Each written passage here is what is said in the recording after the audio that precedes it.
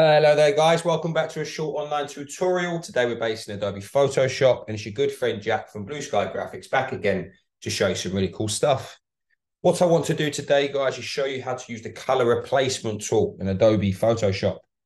What we have here is a uh, lovely image of a child eating a watermelon, and what I would like to do is to transport the color of the watermelon onto the child's t-shirt.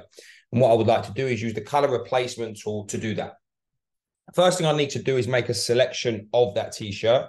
So I'm going to go to my layers and make sure that my layer is highlighted. And then what I'm going to do is use the quick selection tool. Just going to make sure that's on plus so I can start creating a selection. I'm just going to come through now, make a selection of that part of the t-shirt. And we're going to go in here as well.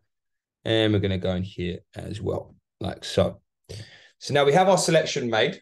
What I need to do now is use the keyboard shortcut for Mac users, which is Command J, and for Windows users, users that's Control J. And what that will do, that will duplicate a whole layer at once. But the benefit of that making that selection is it will only duplicate what's inside of that selection. So now I'm going to use that keyboard shortcut. And as you can see now, what I had selected there is on its own individual layer. If you right click on the brush tool, you have here what we call the color replacement tool. The way this works is you need to find the source point and how to do that is with a Mac user, it's option click. And with Windows users, that is alt click.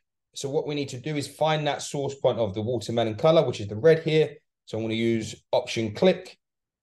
And then what I can do now is come through with that uh, layer still highlighted and just come through and start to apply that color to that t-shirt. Maybe increase the size of this brush here. I'm just going to come up here, just increase a little bit more. There we go. So we've got much more of a surface area to play with. There we go. As you can see, it's really coming through now. Let's make sure that we cover all the sections here. There we come through there, like so.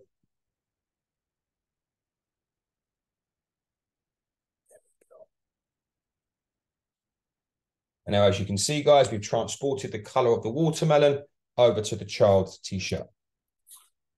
If you're interested in finding out more about the school, the courses that we offer, please take a look at our website at blueskygraphics.co.uk. Also, as well, there are recordings that are coming out on a weekly basis, so please make sure you take a look. Thank you very much, guys. Take care, and I'll see you next time.